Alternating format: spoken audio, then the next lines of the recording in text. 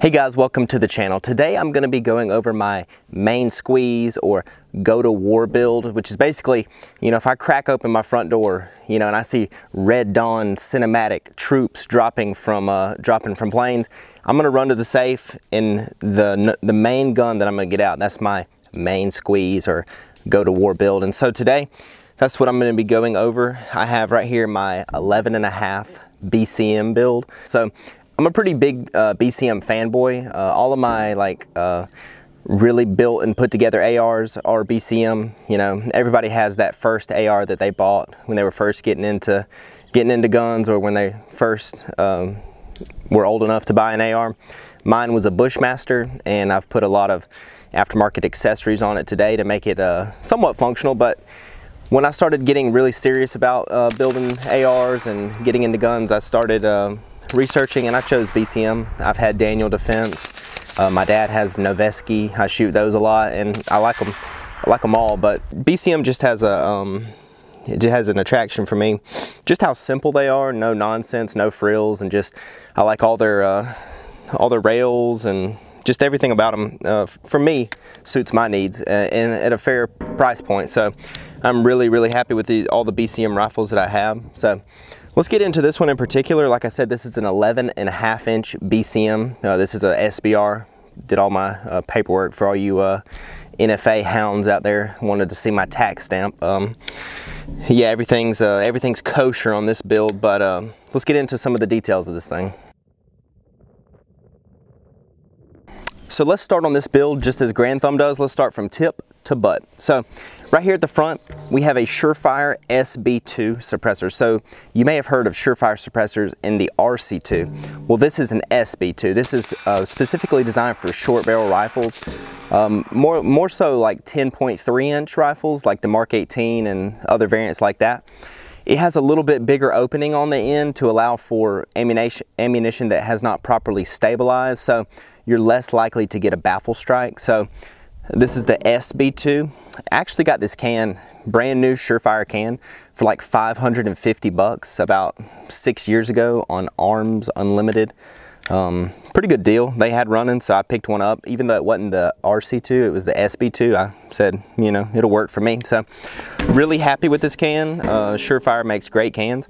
So the muzzle device that I have it attached to is a Surefire War Comp.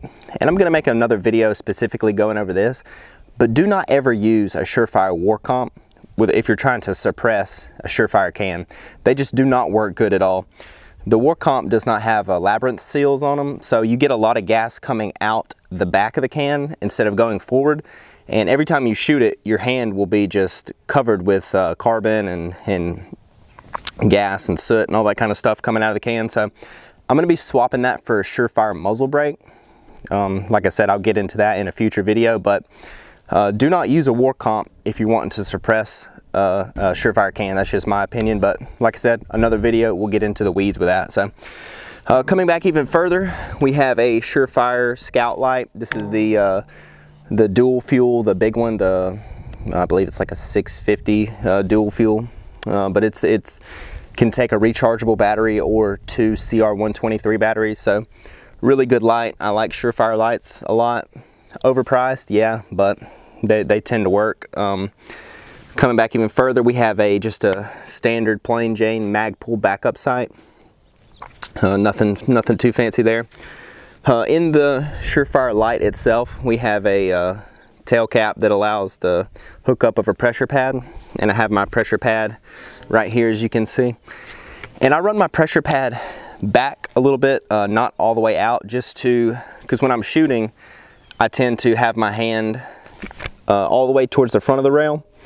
And if I had my pressure pad all the way at the front, I could accidentally hit the white light when I'm not intending to, just like that. And, you know, if somebody has night vision and you hit that white light at night accidentally, it's basically like a beacon just saying, here I am. So very important not to hit that unless you're intending to. Uh, probably gonna get one of those, I believe it's like 100 Concepts uh, white light covers for the white light just so that even if I do hit it on accident, uh, no light is emitted because there's a cap. You can flip it up when you're ready to use it, but really good light. Uh, it's on an Arisaka low profile mount. Super, super cool mount. It brings the light just as, as slim and just as, as streamlined as possible on the rail, which I like. It doesn't get snagged coming in and out of a, a bag or coming out of the truck or whatever. So um, I have the M-Lock version of this upper, which I really like M-Lock. I have a BCM key mod. I like the key mod. I like the aesthetics of the M-Lock better. So M-Lock is uh, what I'm going with now. Coming on back, we have the T-Rex Arms sling.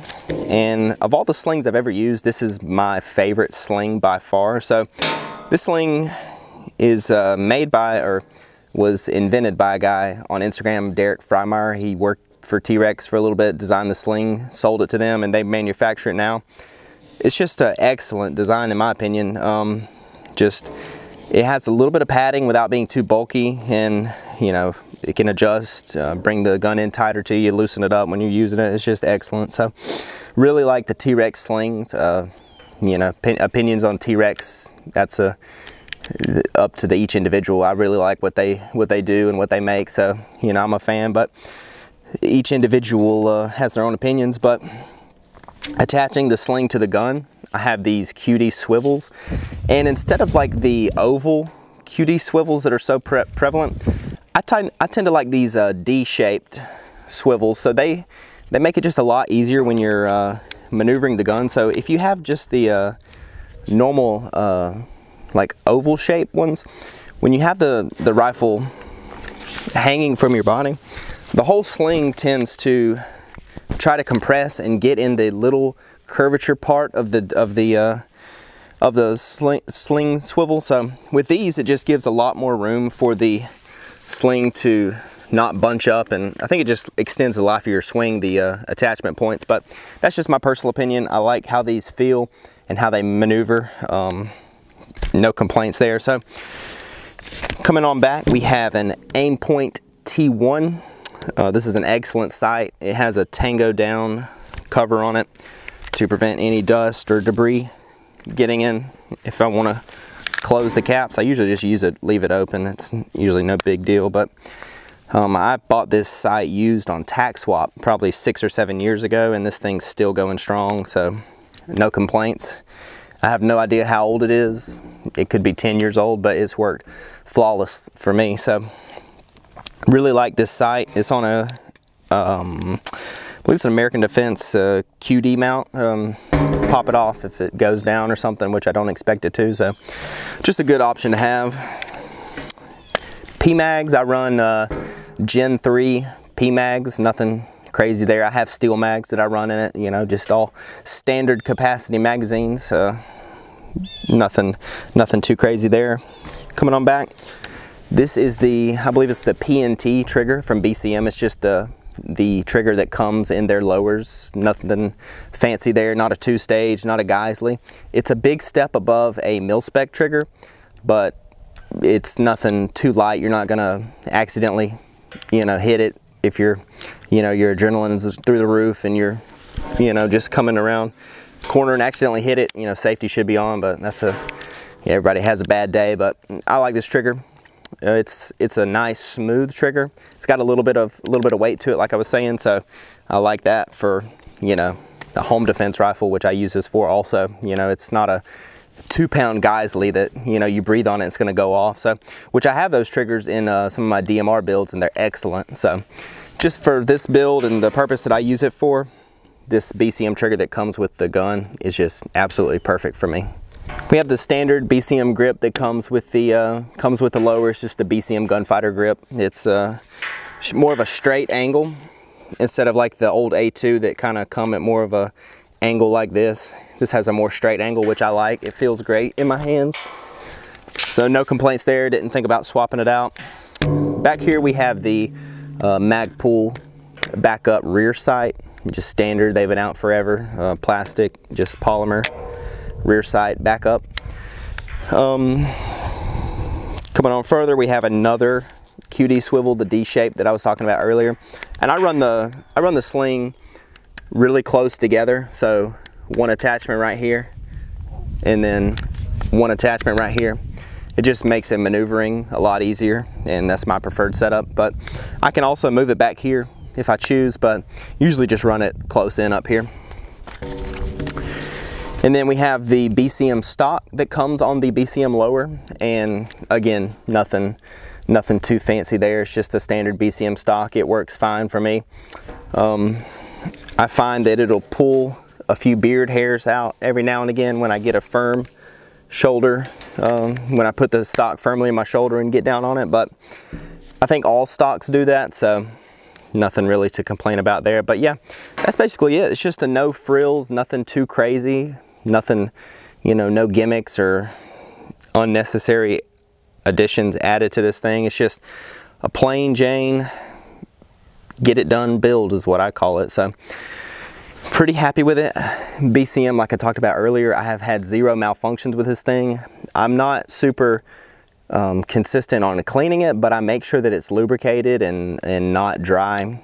This thing is, uh, it runs like a top and I've had zero issues and that's what you want with a build that you know that you may have to may have to use seriously one day which you know the odds of me ever using this thing seriously are 0.00001% which is you know a good thing thank goodness but you know if, if something does happen I have it ready and I know that it's gonna gonna work so one thing I forgot, charging handle is the BCM uh, charging handle, the medium size latch. So gives you a little bit bigger latch to grab onto when charging the rifle.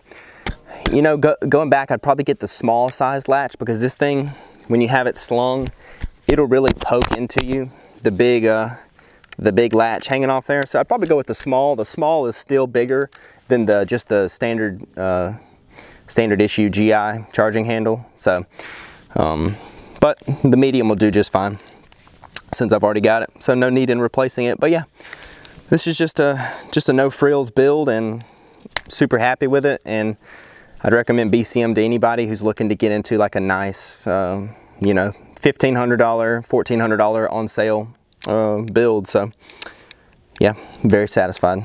So with the Surefire can attached, it does a really great job of reducing felt recoil and, uh, and the flash coming out of the end of the gun. So we'll take a few shots here with the suppressor attached, see how it does, see how it recoils, and then we'll remove it and we'll take a few shots with the war comp that I have on the gun and see how it does.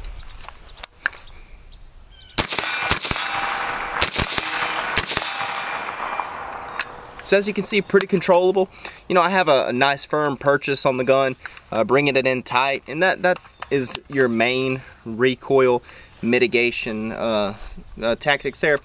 But the suppressor definitely does help. It, uh, it helps just with that felt recoil. My dot gets on target a lot faster and you know, it's just easier to shoot. So let's see what it does with the war comp itself. So we've got the suppressor off of the gun and we just have the Surefire War Comp on here now. And the War Comp, like I said earlier, we're going to do a specific video on why I do not like this. But basically, it tries to be a flash hider and a compensator and you can't do both. You can only do one or the other and do it well. So we'll take a few shots. It, it, it does reduce felt recoil while keeping um, just not a crazy amount of flash and fire coming out of the end of the gun. So we'll take a few shots and uh, see See how it does.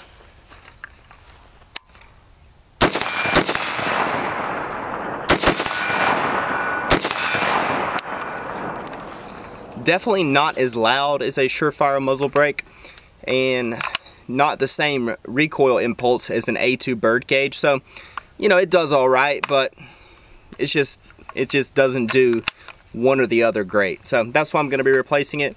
Uh, check, check back for that video sometime soon. So when watching videos of people shooting with suppressors, you know, you don't get a very accurate sound of what the suppressor actually sounds like. I just shot a few shots with the suppressor, then I shot a few with just the war comp, and you know, on the camera and uh, through the uh, playback on YouTube, you know, it, it doesn't sound all that different. But you know, standing here behind the gun shooting it, it's just night and day. Um, with the war comp attached, um, the suppressor is a little bit louder than with the Surefire muzzle brake or the Surefire flash hider, three prong or four prong. So, you know, the the sound is still a little bit louder than it, what it could be if I have one of those different muzzle devices attached to this gun. So, just keep that in mind when you're listening and you say, oh, well, maybe that suppressor doesn't sound as quiet as some others I've heard. You know, different mics, uh, cameras, you know, they just pick up audio differently. But this is a very solid suppressor. It's not the quietest and it's not the loudest, but it's just right there in the middle. And it does a good job of suppressing uh, concussion and sound. So I'm very pleased with this suppressor.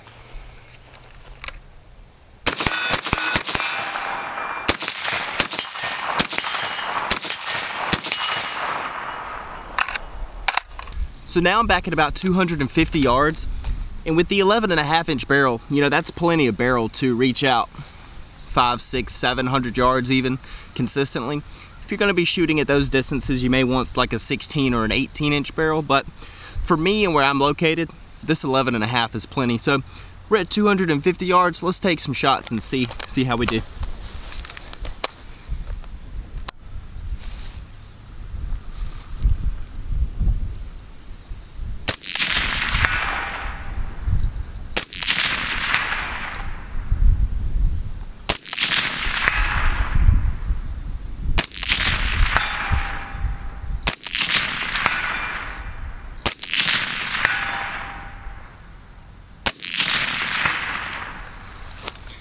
So as you can see, pretty easy. I have my uh, 50 yard zero dialed in. So, you know, I'm holding almost center mass here at 250 yards and I'm still getting a hit every single time. So, uh, very pleased with this, uh, this rifle, this barrel, and this optic.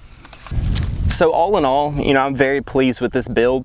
This is set up for me and my particular needs uh, that I may, you know, hopefully never have to use with the rifle. And, you know, I'm gonna continue to tweak and modify and you know new products come out. I'll test them and see if they fit. But you know all in all it's just a simple no frills build and it's perfect for what I need it to do. So you know I hope you guys enjoy this video. So stay tuned subscribe to the channel. We have tons of content coming out. I'm gonna be breaking down some of my other builds. We're gonna get into shot, some shotgun some pistol content and just all kind of good stuff. So hope you enjoyed this video and we'll see you on the next one